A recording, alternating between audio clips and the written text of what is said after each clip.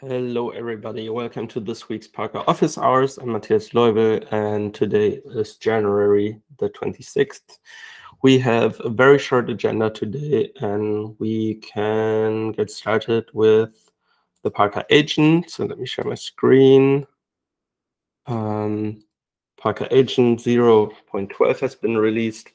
Um, and most interestingly, it makes the profiling frequency configurable, and it is actually a default of 19 hertz now instead of the previous 100 hertz. Um, I think we've in the last previous uh, Parca office hour already discussed um, that like over time, if we have like hours of of data, um, you can get the same statistical significance with lower uh, profiling frequencies. So overall, 19 hertz is, is, is still fine um, if you're looking at longer time durations. And then 19 hertz makes sense because you want to have a, um, in, in, the best case scenario, a, um, what's the, what's the word called? Um, a, a number that can't be divided by itself. I'm I'm blanking on the word, um, but yeah, like 19 or 17 or something like that. And the 19 is nice because it's um, it's close to 20. So and and those numbers are nice to to work with because um, if if something is very periodic in the system, you might miss like every like if something happens every um, 10 milliseconds or 100 milliseconds, you might miss it miss these events when they uh, when you profile with 100 hertz or like 10 hertz or something. Um, so that's why 19 is, is, the default now in, in Parca Agent. Um, some improvements have been made um, to performance, and then um, as well as uh, some some dwarf uh, unwinder improvements. Um, dwarf unwinding overall has been uh, being worked on and is uh, rapidly improving so that like in the next couple of weeks we're hopeful to to have dwarf unwinding enabled by default which is currently not possible due to performance issues um yes so i think that's pretty much it for Parca agent um hopefully next time we'll have uh, something more to tell you about like java support um in in Parca agent with the async profiler etc but that's pretty much what we're um, able to release right now and what we're working on as of today. Um, and then for Parca itself, I think next to various UI improvements which aren't ready and yet able to show, um, the most interesting current development uh, is done by Thor, and Thor is working on um, ingesting Arrow records directly. So what does that mean for for um, for Parca um, or for profiling. So, I mean, this is like a more of a FrostDB um, um, database um, technique, technical thing. So overall, I think uh, what it boils down to is using Arrow to, to ingest data means we can take the profiles and kind of transform them into Arrow records. And then those Arrow records we have in memory, and eventually we will store them as Parquet files um, if persistence is enabled. And what this will allow us to do maybe in the future is to actually um, also next to pprof um, profiles directly receive um, profiles as as Arrow records. So um, as you can see, the the benefits are kind of like CPU wise.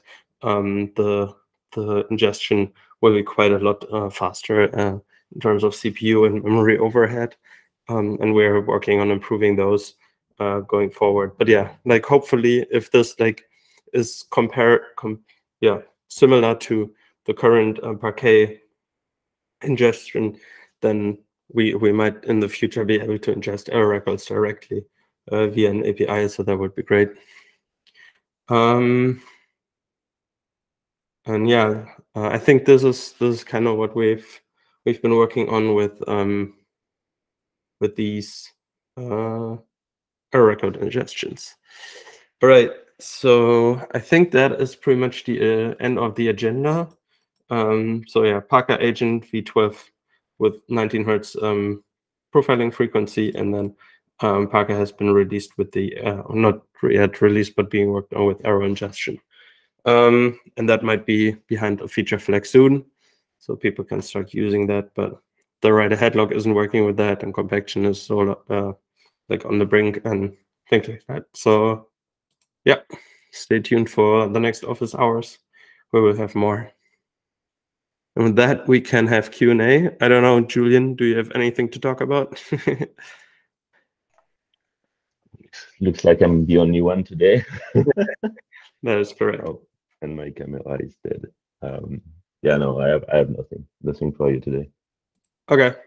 Yeah, so just a quick recap, like Parca Agent 012 has been released. Um, and I think because we are only um, profiling 19 times a second, the CPU overhead will be a lot uh, less. And then I think overall, like dwarf unwinding is, is being worked on. So that might become the default going forward.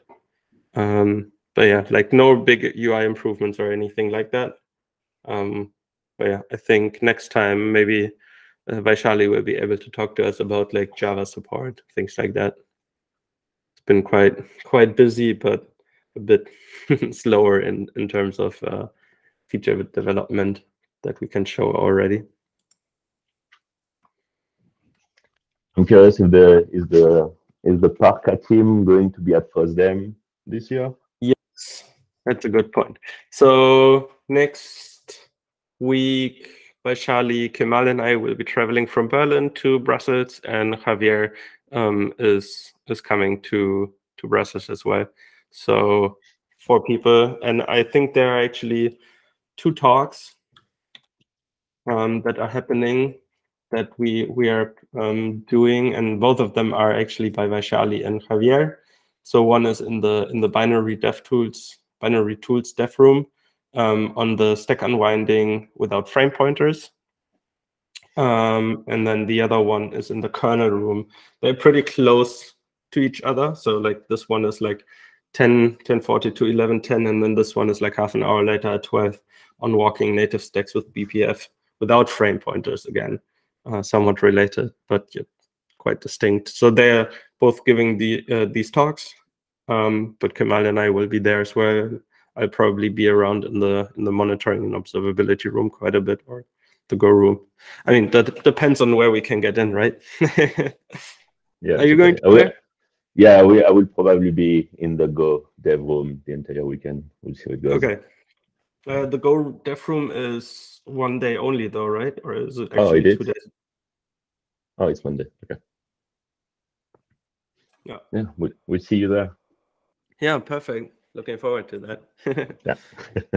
All right. If there's nothing else, then I think we can we can close the the office hours for this week and see you in two weeks again, and see you in next week in between. Yep. All right. Awesome. Bye. Have great travels. Bye bye.